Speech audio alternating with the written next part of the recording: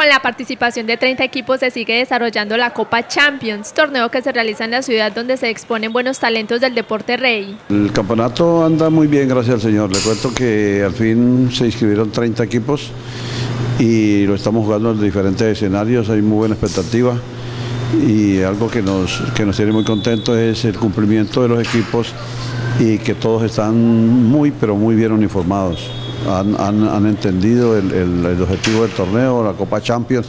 Es primera vez que en el microfútbol organizamos un torneo de, esta, de este tipo y la gente pues ha lucido estos bonitos uniformes. Este campeonato se lleva a cabo en los diferentes escenarios deportivos del puerto petrolero. Tenemos partidos en, el, diferentes escenarios, estamos jugando, estamos jugando en el parque infantil, estamos jugando en el barrio Gaitán, eh, ya hemos ido al barrio Primero de Mayo, y así por el estilo eh, estamos haciendo el, campeonato en el mismo orden que hemos hecho los descentralizados, llevándolo a los diferentes eh, polideportivos de la ciudad. La invitación es para que todos los barranqueños asistan a disfrutar del fútbol y sigan apoyando este bello deporte.